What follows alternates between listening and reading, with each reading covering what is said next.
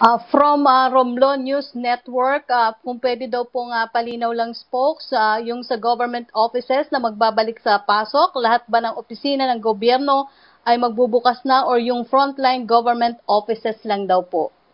Sa GCQ, bukas na po ang gobyerno.